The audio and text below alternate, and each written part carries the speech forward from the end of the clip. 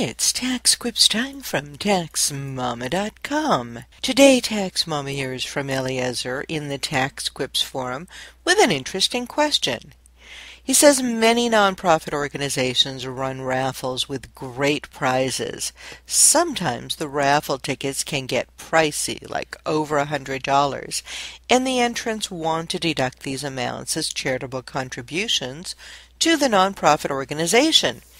Assuming the entrant did not have any winnings, is there any situation in which these are a valid deduction?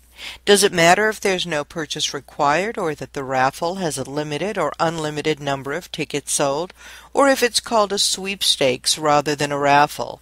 I would love to help these taxpayers find a legitimate way. Well, Eliezer, let's see.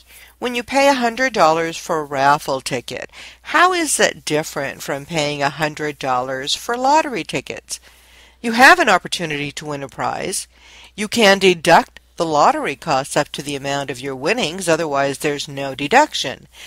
So, the only way I can see the cost of these tickets as a deduction is to have the buyer donate the tickets back to the charity at the time of the purchase, not after having lost.